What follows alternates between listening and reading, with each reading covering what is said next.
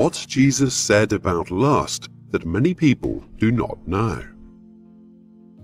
Matthew 5 27 to 28, Amplified Bible. You have heard that it was said, You shall not commit adultery. But I say to you that everyone who so much as looks at a woman with lust for her has already committed adultery with her in his heart. You have heard that it was said to those of old. Now, Jesus addresses the teachings they had previously received concerning the law of adultery. Naturally, the instructors of the day taught their students that the act of adultery, in and of itself, was immoral. However, the legislation was only applied to people's actions and not to their intentions. Adultery was categorically forbidden by the Mosaic Law. Exodus 20 14 You shall not commit adultery. Deuteronomy 5 18 You shall not commit adultery. One could be pleased with themselves for having never disobeyed this commandment, but at the same time having eyes full of adultery. They have eyes full of adultery, constantly looking for sin, enticing and luring away unstable souls.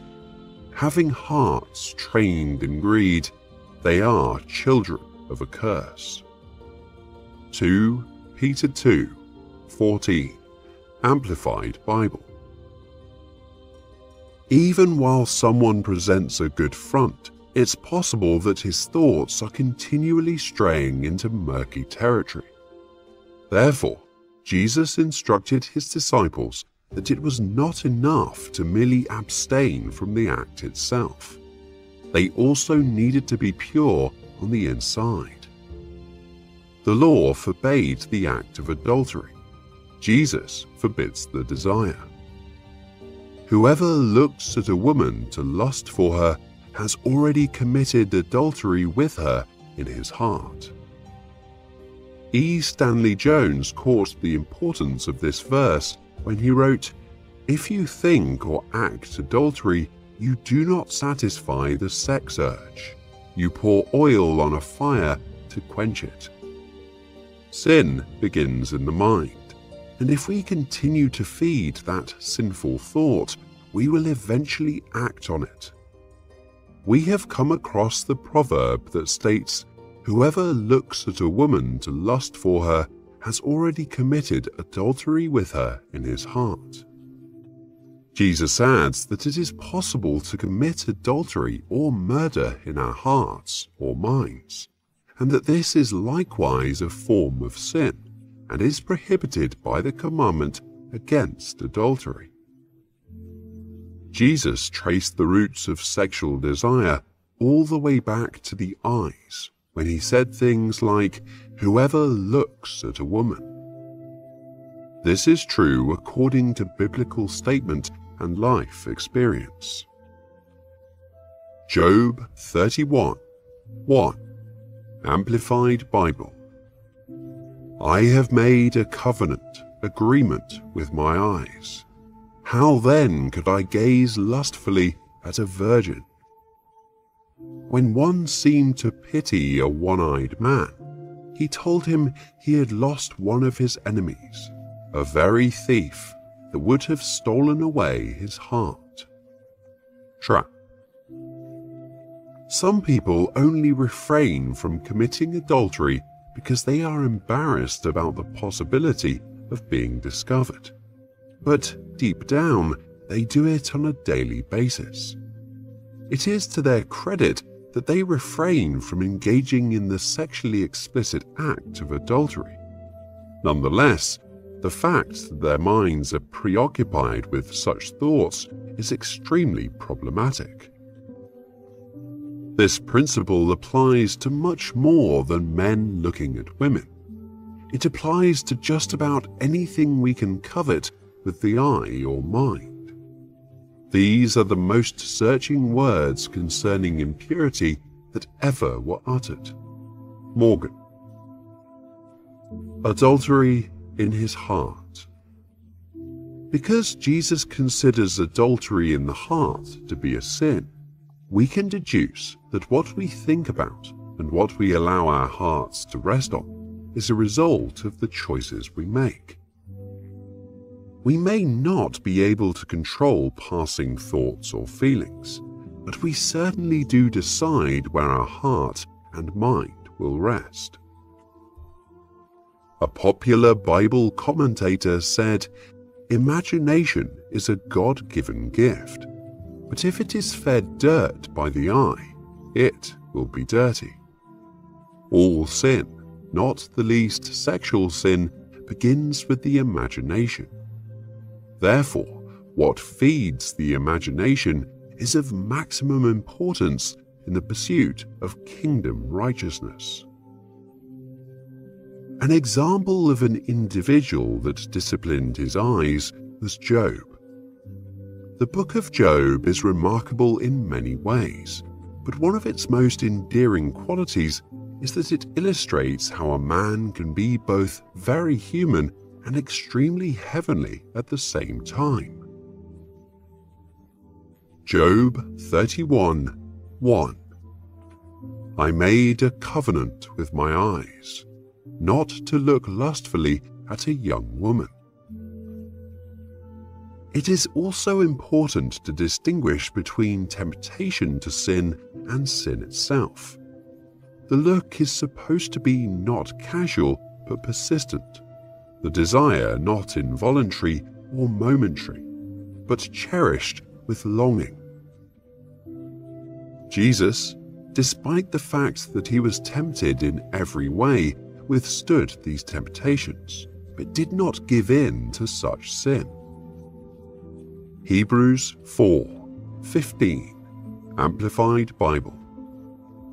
For we do not have a high priest who is unable to sympathize and understand our weaknesses and temptations, but one who has been tempted, knowing exactly how it feels to be human, in every respect as we are, yet without committing any sin.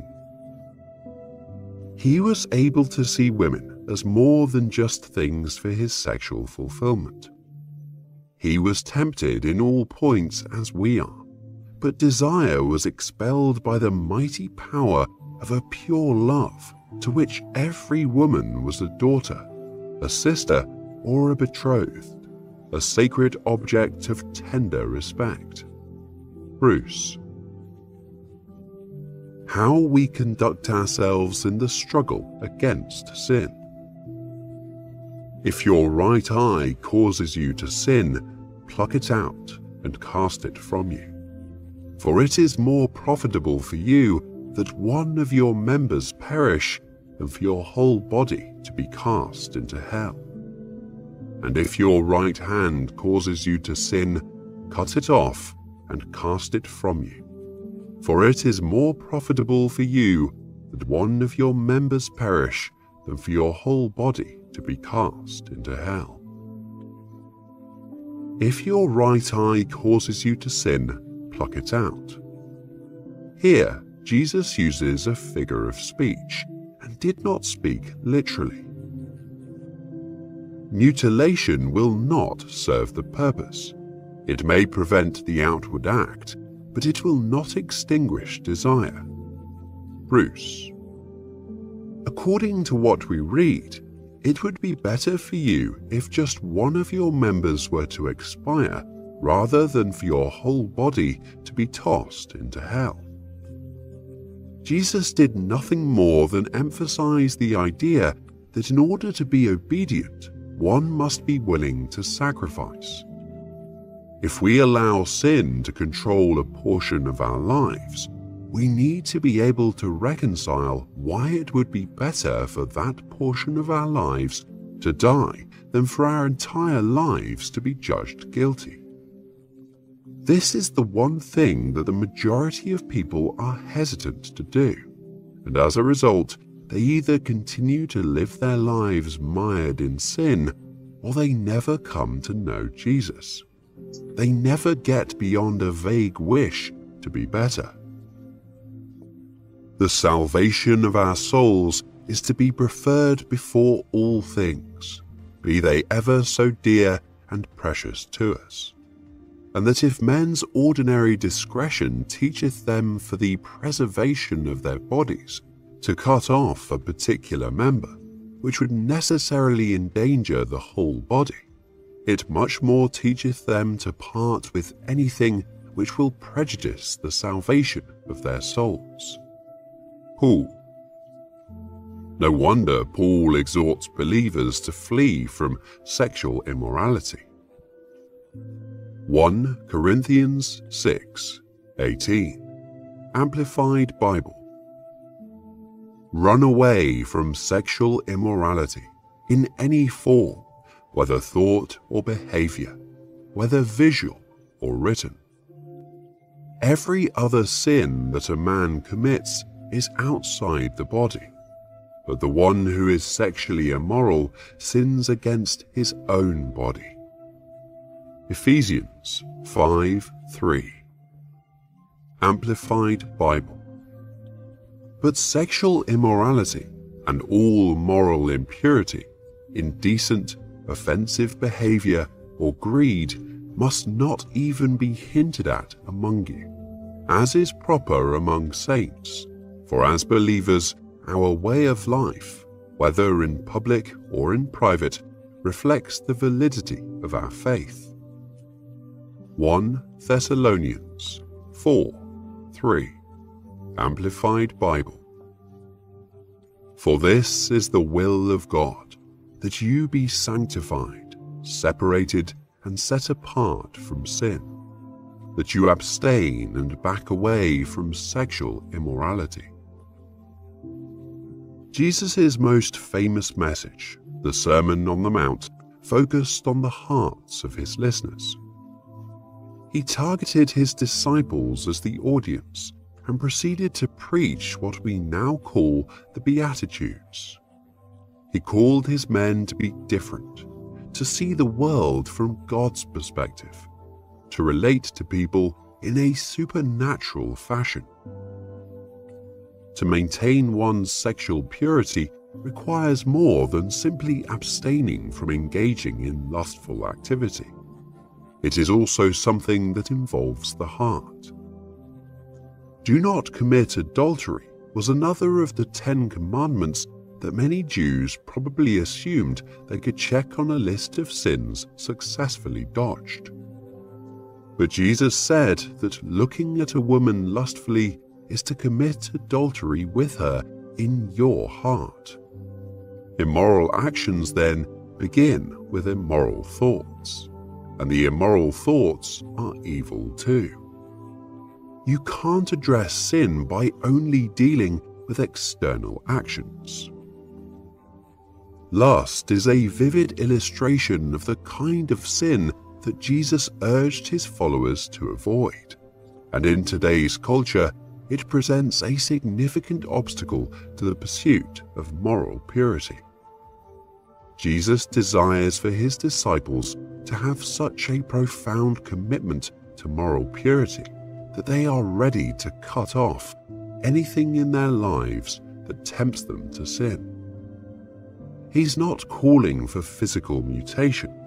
Again, sin is a matter of the heart and not merely the eyes and hands. Instead, he's calling for a radical approach to avoiding sin. If you enjoyed this video, give it a thumbs up and share with your friends so we can keep making them. For more videos like this, hit the subscribe button and remember to click on the notification bell.